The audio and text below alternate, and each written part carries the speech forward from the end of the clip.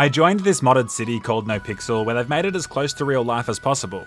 This is my character Karthik Manuel, or Thick Man for short. He combines the heart of a lion with the appearance of an overly affectionate stepdad. I recently bought myself a new truck, which I'm awfully pleased about. Would you guys like to go on a date with me? I'm taken, sorry. That's uh, that's my truck over there. Now, would you like to go on a date with me? Um, I. unf- Sorry, I don't date gold diggers. Cause I am the baddest of them all. I'm still poor, however, so I need to make money fast. I load into my apartment, bold and primed. As I head outside, I come across a woman called Barbara. I then proceed to do something that I'm not proud of. I become the perfect gentleman. What's your name? Ah, Uh, Kath. don't tell me. I'm gonna call you Baldy. Uh, Alright, I can live with Baldy. Uh, you get that? Yo, what? You don't have to do that. No, that's cool. I was nice to someone and they gave me $1,000. I'm sure there's a lesson here, but there's no time to learn it as I need to get a job.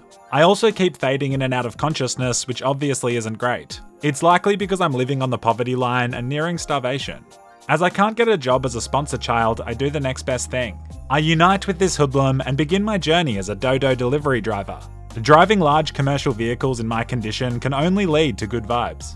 Drift King, they call me. Oh. What the It's not glamorous, but it's honest work, and we make a cool $1,600. My partner even gave me a joint, so I smoke it to try and fix my medical issues, but if anything, it just makes them worse. It's time to stop the 420 and accept that Jesus is plenty. I head over to my favourite Uwu cafe, and the police are here just keeping the streets safe. I pay my taxes on my little dodo delivery income, yet bodies still litter the pavement. Given I'm knocking on death's door, I treat myself to a deluxe combo meal. They even kindly throw in a medical pack so I don't drop dead in their venue. I guess they draw the line at corpses inside the building. I give myself first aid. Everything Thick Man does looks incredibly seedy, I love it. I finish off my kawahi curry, and on the way out, I give this cat a little pat. This is a rule they enforce, which I think we can all appreciate. As I drive away from the morgue, I see a gorgeous older woman looking like a snack in the Burger Shot car park. Last time I approached a girl, I pocketed $1,000, so I decide to shoot my shot again. Would you like to go on a date with me? I'm drunk. Oh, this is inappropriate. Yeah, what kind of creep asks a girl on a date while she's drunk? This this kind of creep. She collapsed mid pickup attempt. She keeled over, and then my words literally killed her. Like the video if you would go on a date with Karthik Manuel. I don't dwell on this low point for long, and instead I network. I meet this couple on a dirt bike who ask if I want to go fishing with them. Of course I agree, as if I can catch a big fish, then I can update my dating profile picture. We have to take separate cars because we only have two seaters. That's okay, as I'm just hungry to catch myself a 600 pound Indo Pacific blue marlin. The sun's rising, and in my opinion, it's metaphorical. This is a new start for Karthik Manuel to prove he's more than just a grandma killer. The worst possible thing then happens. You see, my truck I nicknamed Shaniqua doesn't exactly hug the road. Like the chief F1 Ferrari engineer isn't calling me up and asking for downforce tips and tricks. I completely lose control of the big girl and we just go flying off the side of a relatively massive cliff face. My most expensive asset is now bathing in the ocean. Old Karthik has seen better days, but at least it's surely up from here. Hey, you need a lift? Hey, bro. Hey, thank you. Yeah, that'd be great, man. I'm just heading up to the shops really close. the dodgy Malacca locked the door and then snort laughed at me. Maybe one of the most alpha things I've witnessed in recent times. I reach the shop and immediately attempt to buy a firearm. I'm unable to do so because I don't have a gun license, which apparently I need to obtain from a judge. It's officially easier to get guns in real life America than virtual America.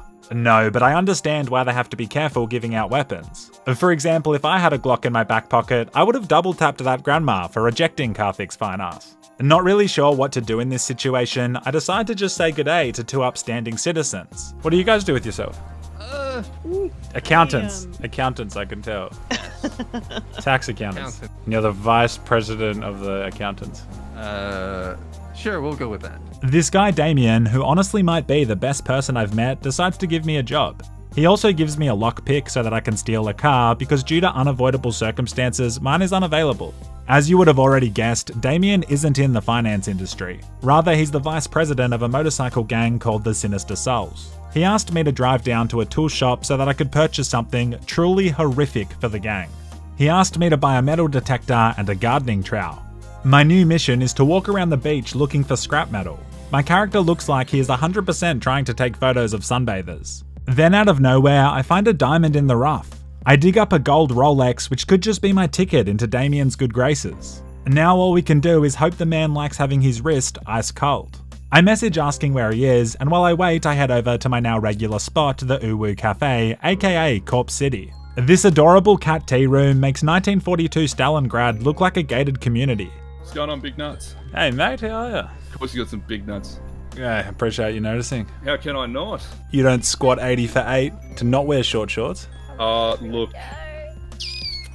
Scott and I decide to consummate our bromance by heading over to the casino and trying our luck. $250 for a membership, and then I lose all my money on the spinning wheel. And God, gambling can ruin your life quickly. Speaking of, I'd like to thank today's video sponsor, Pellybet. Only really, really smart people gamble. Scott loses money too, and then just sort of stands there in shock for a long time, so I have to sadly leave him as Damien's ready to meet. To compound our issue, my stolen car got stolen while I was inside, so I have to steal another one. Except my lockpick isn't good enough for luxury classed cars unless you are gassed up on Adderall. I couldn't find a vehicle anywhere, but then I found something that was less than ideal. This is not my first choice, as it's definitely strange meeting the vice president of a gang in a commercial truck that says Good Aids on the side. First impressions are important, and I can't help but feel like I'm fumbling the bag. To make matters worse, I misjudged the height of this sign. Those low clearance heights sure know how to kick a man when he's down.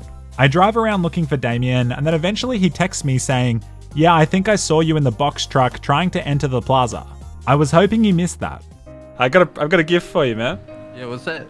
I'll just put it in the glove box for you. It's my grandfather's Rolex.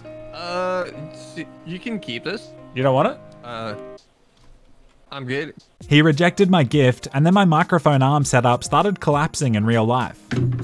Really advanced screwdrivers, you know? Literally and figuratively, everything is rapidly falling apart for your boy. Then, in a moment of pure Chad, Damien extends an olive branch. Okay, so here's a question. You you wanna you wanna do like some uh? Damien, you want me to kill right? someone? I'll kill someone, bro. I got you. Okay, no no no no not not kill someone. He didn't want me to kill anyone, but hot damn was I ready to. Damien decides to show me the ropes of being a criminal, which is absolutely perfect. When Karthik was a little bald kid, he didn't lie awake at night imagining his life as a Dodo delivery driver. He introduces me to this NPC who tells me which houses I need to rob. He then helps me find a suitable van for burglaries and sets me on my way to start hitting houses. The key thing he's looking for is a strong rope that we can use to pull ATM machines off the wall. Earlier today, we were rolling off the side of a cliff, and now we're completing an apprenticeship in organised crime. I leave the nest, and exactly 26 seconds later, this happens. Is it Karthik Man, Man, Manuel? Karthik Manuel, yeah, yes, sir. It's uh, it's Indian. Oh, Ah, that's my mate's vehicle. oh. Uh, what's your mate's name? Uh, his name is Barrett. You got his phone number by chance, so I can call and just make sure you know that he knows that you busted out the window of his vehicle. Um, he doesn't he doesn't believe in phones. He's more of a he was like off technology. It's actually quite beautiful. Hmm. The big dog let me off with a speeding ticket, which I'll take as a win given the stolen van and my intentions with it. The problem now is that I'm no longer broke, I'm in debt. I feel like the only person we can blame for this is Scott. Curse you, Scott, you handsome devil. I arrive at the final property, and it's an apartment complex with more doors than the Monsters Inc. Incorporated factory. I look everywhere, but I can't find the unit I'm meant to break into. I thought cops or gangs would be the issue, not logistically locating the residents, but that's just the kind of curveball a life of crime throws at you. Eventually, I find a house and break in. I start rummaging through the cabinets, and it's super nostalgic of Grand Theft Auto San Andreas. In this very first house, I find the exact piece of rope Damien needs. I also find a muffin and a joint, and so I decide to treat myself. One day I'll be doing this in a house that I actually own. I wouldn't say I took to the burglary life like a pelican to water, but I got it done. And just casually stealing bronze marble sculptures, it's all good. I head down to the pawn shop excited to make bank, and it's closed. I probably should have checked that was open earlier. This is alarming as I put all my eggs in the cat burglar basket and now I'm starting to starve to death again. I head down to Burger Shot to get a meal. He's hot. Thank you. It's really sweet of you. No, sorry, I wasn't talking about you, sir. Who are you talking about? Oh. Let's talk about that guy. Face is ready Oh. You think he's hotter than I am? Well, hey, Yeah. hey. He's got hair for one. Yeah, whatever. And one of those rolled Exactly. jeans. Hey, here's my number, honey. I'm not eating here. I refuse to eat here. I caused the scene so that I could desperately take the food and leave without paying, but she was two steps ahead and never put my order on the tray. And she's good at her job and hurting my feelings. There's no time to eat as Damien has asked me to meet him at the beach so we can get down to business. I initially misunderstood his meeting place and ended up having a gang point a sawn off shotgun at my face. Fortunately, they were really chill and let me go about my day. I go and meet Damien at the super secret meeting place, and he's like, Bro, can you metal detect this beach? I wouldn't have guessed that metal detecting would play such a big part in today's video. My first activity with the Sinister Souls is not what I expected, but it's surprisingly wholesome. We're all out looking for a safe cracker for this ATM job. Damien then asks me to keep looking while they handle something else, but I'm knocking on death's door. All I've had to eat in three days is that tiny muffin. In what I can only assume is the no pixel version of becoming a stripper, I drive back to Dodo Prime Deliveries and find a partner to do a shift with. I think it hurts more because Dodo is the lowest rank in my Discord server and people frequently use it as a derogatory insult. You looking for a tour? Ah, yeah, yeah, I join you. The underpaid backbone of this economy. As we're finishing up our shift, Damien calls saying they're ready to meet and tells me where to meet them. Yeah, yeah. So next to the casino, there is. A- Yes, I just starved to death at the steering wheel with my poor homie helplessly in the passenger seat. Oh,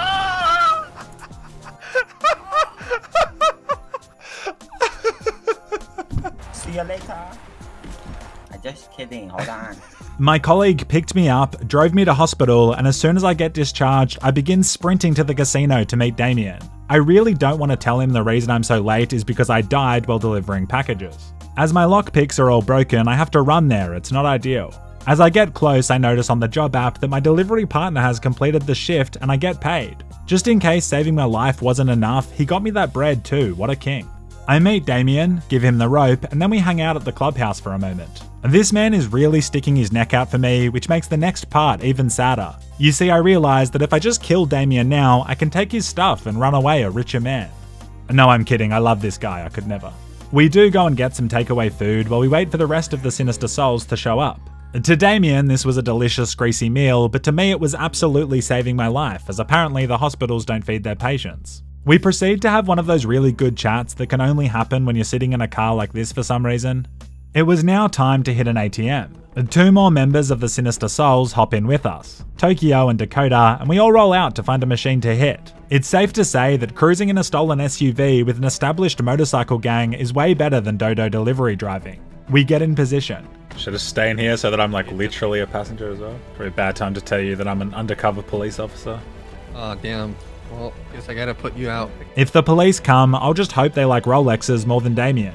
We pull the ATM off the wall, and just like that, I've officially completed the coolest thing I've done in NoPixel. The Tokyo then holds the entire machine in his hands and hacks into it. This is why you never skip leg day.